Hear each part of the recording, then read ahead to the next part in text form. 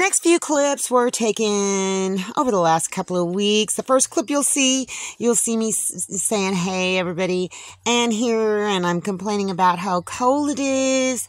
Well, that was like a couple of weeks ago when it was down into the low 30s, but it's been relatively mild lately, um, high 40s, low 50s. So, um, I'm still lighting a fire.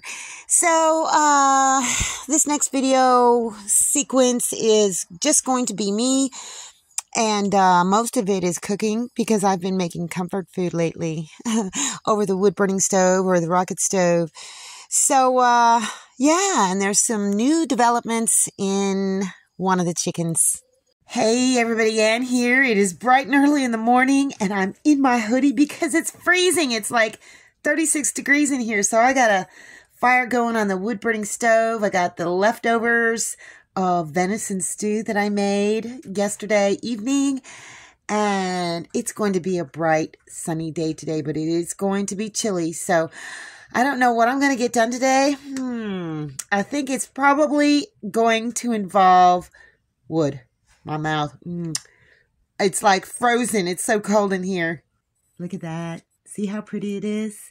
I know it's dark, but it's just so comforting to be able to have that wood burning stove and have plenty of wood. I'm in heaven. Look at this yummy venison stew. It may not look good to you, but it is to me. Yeah, that's one of my dehydrated mushrooms. And just a couple cans of sliced potatoes, venison meat, a can of great northern beans, some dehydrated carrots and corn and green beans. Oh my gosh.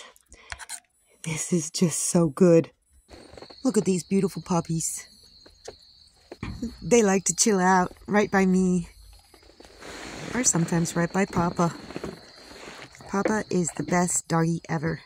And look at, that's Miss Cindy. She likes to get up and smooch him She loves Papa.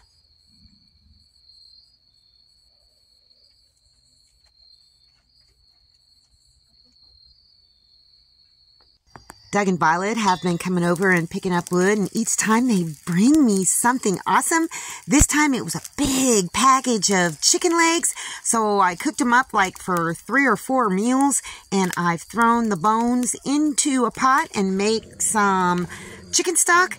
So I'm going to make some hearty chicken soup. There's some of my dehydrated carrots in there and some pasta. I threw some more chicken in there and it just turned out really, really delicious. So very good. Look at that. Yep, perfect comfort food. And the rest goes to the puppies. They get their share as well.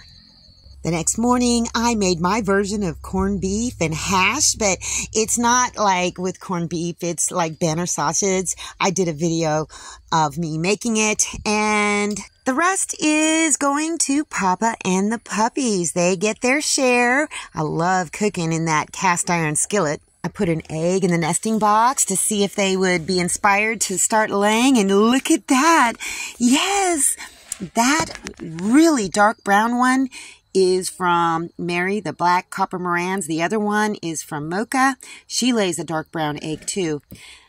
But they have definitely started laying. Look at it, it is just so tiny. I mean, Mocha hasn't laid an egg in a while either, but isn't it beautiful? It is very small, but it is very, very dark. And Selena's started laying a couple days ago.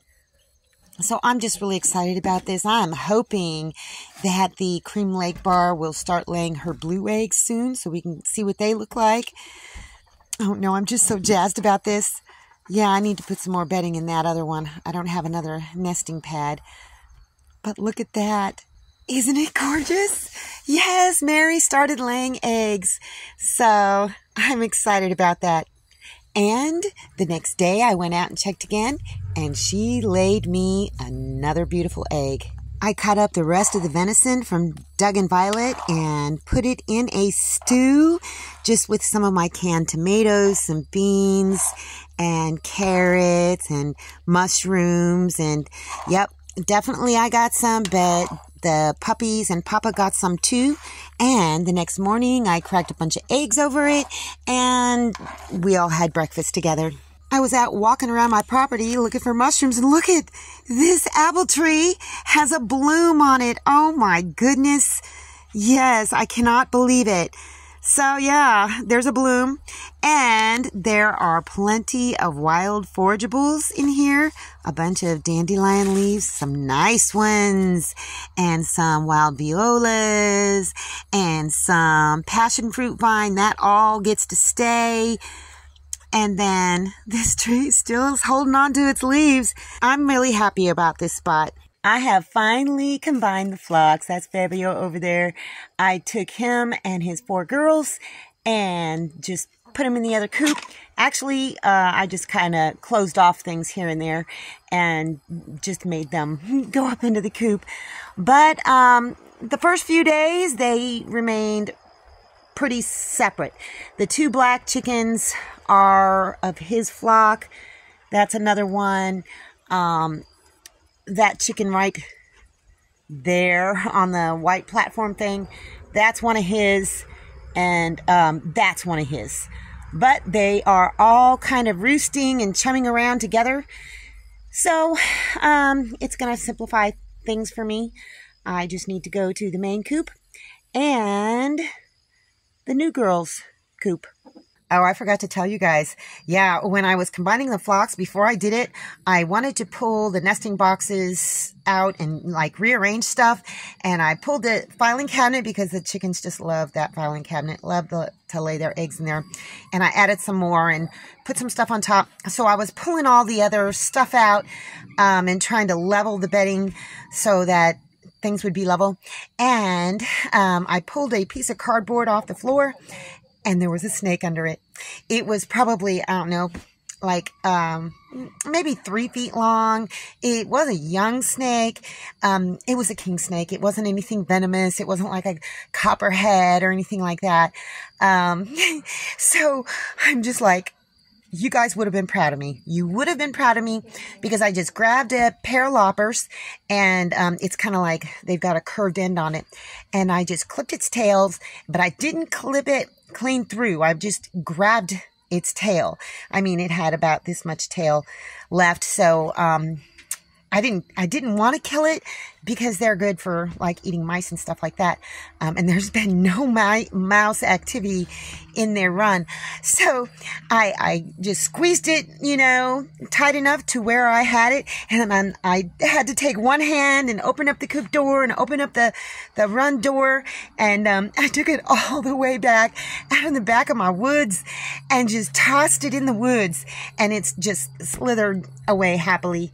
Um, so, but you would have been proud of me because I was not freaking the heck out and I took care of, care of it myself. I wish I would have got it on film, but, um, I didn't. I just wanted to get it out of there because there was chickens trying to go in and out of there and lay eggs. Anyhow, that's my big trauma story. Um, anyhow, that's just what's been going on. Um, I'm trying to kind of like perk up, but, um, it'll come. I'm going to give myself some time and um, just take it easy for a while. you can tell I look, I still look very, very tired. Um, anyhow, I hope you're all well and um, thank you for your kind and comforting words. Thank you so much. Anyhow, that's all I got for you guys today. See you in the next video.